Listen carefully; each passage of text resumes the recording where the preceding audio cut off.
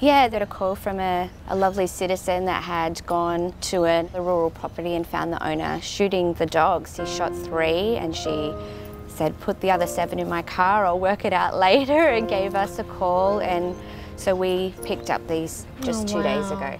The dogs were really, really filthy, really stinky. They're full of worms, fleas, covered in scabs, lots of cuts and, and lumps and bumps all over them. So I'm keen to get those checked out and make sure it's nothing serious.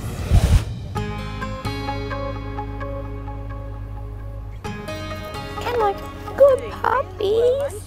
In Sydney, Audrey is waiting to meet three young rescue dogs with a remarkable survival story. Good boy. Oh, look at the three of you. Come on this way. Hero. Come check out this grassy area. I don't know much about what's going on with these puppies, but it sounds very urgent. It sounds like the rescue was quite traumatic, so I'm really eager to see what's happening. Oh, it's a bit scary. Hello. Come Hello, on, number two. boy. Come on. Lisa and Suzanne from Maggie's Rescue have brought in one year old Kelpie Cross siblings for general health checks and long overdue vaccinations. So tell me the story of these three. I know there was quite a dramatic rescue. Yeah, I got a call from a, a lovely citizen that had gone to a, a rural property and found the owner shooting the dogs. He shot three and she said, put the other seven in my car, I'll work it out later, and gave us a call. And so we picked up these just Oh, two days ago. Hey, you guys are very lucky someone found you. As a vet, I'm a big animal lover, and it's really sad to hear that there might be someone out there who feels like the best way to get rid of them is to shoot them. Puppies have a high chance of being rehomed. There's so many people that are looking for adoption puppies, so it makes me really sad and angry that this is still happening. So, do they all have names yet? Yeah, so we've got Raya in the middle, Raya. Wolfie, and Nero over here. Nero, they're great names. So, two boys, one girl? Two boys and one girl. The girl's in the blue. Girls Like in the it. blue, yeah. The dogs were really, really filthy, really stinky. They're full of worms, fleas, covered in scabs, lots of cuts and, and lumps and bumps all over them. So I'm keen to get those checked out and make sure it's nothing serious. They've been doing really well, you know, taking baby steps and decompressing and Yeah. But as far as I'm aware they've never been to a vet in their entire lives, so no vaccinations, no nothing. So we'll check you guys all over, make sure that we get you nice and healthy so you guys can find your forever homes. We might do you first since you've come forward to me. Miss Rhea. Miss Rhea, I'll just grab my things and we can get started. Usually puppies will see a vet three times for their vaccinations during those first months of life. But because these puppies are about a year old, they've missed out on all of that. So a lot of things could be happening. It's really important that we check that they're healthy, they haven't got any underlying birth issues. There's sort of something quite firm there. Just under the skin, just on top of the muscle there. It could be an abscess or scar tissue um, from an injury or a bite or something that's kind of got stuck in there. Yeah. She's quite sore about it. Oh yeah, I feel it. She's quite unhappy about it. I don't know if that's helping Wolfie. Wolfie, I know. We should definitely keep an eye on it. Let me have a look at the one on your face too. You got something going on with your eye. It looks like you're, you're patient number one because you're just so good. You can see the surface of her eye has gone all cloudy and then the whites of her eye quite red, so that indicates inflammation in the eye and it looks like she's had an ulcer or a scratch. So the cloudiness will affect her vision because essentially it's like having a scar over the top of your eye. It's not in the middle, but it's to the side, but she can see it. We need to start on some antibiotic drops just to make sure that it heals properly and then we can address the scarring issue. There are a few battle wounds that I can see on Raya.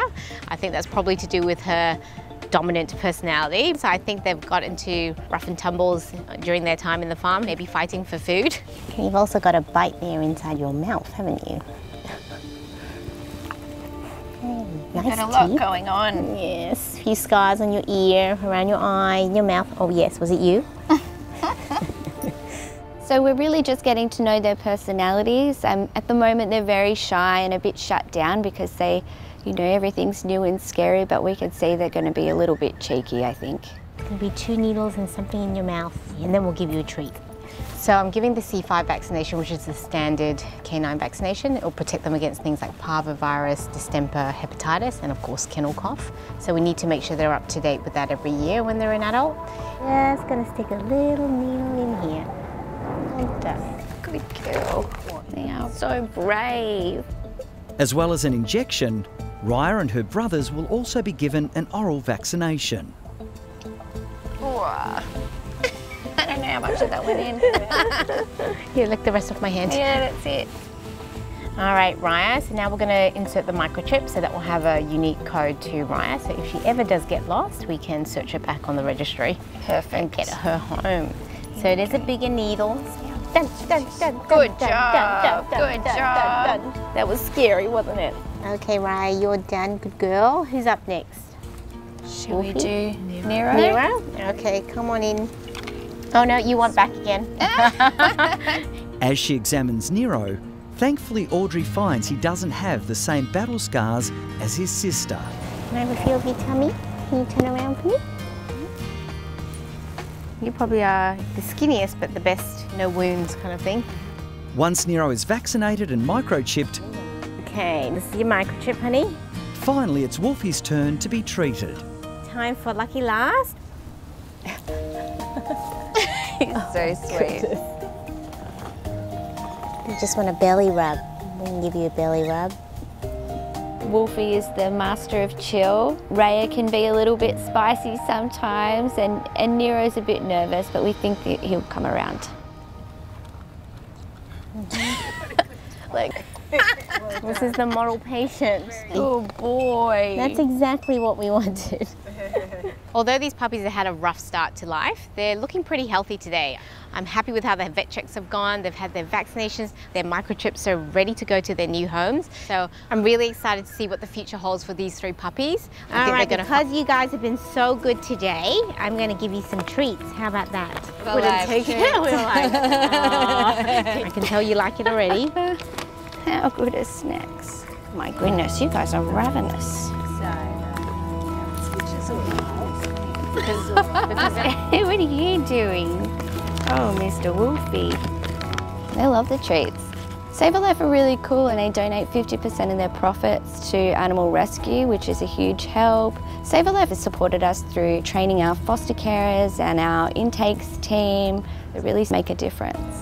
Ready? Come on, if we all start walking, she might. Come on. Come on. Good oh, boy. baby, come on. Wolfie.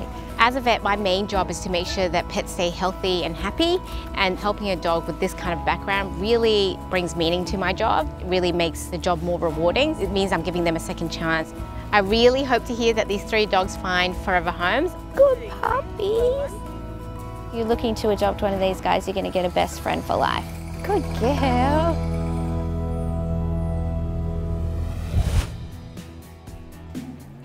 Hi, I'm Dr. Danny. If you enjoyed this video, then please remember to subscribe to the Bondi Vet YouTube channel.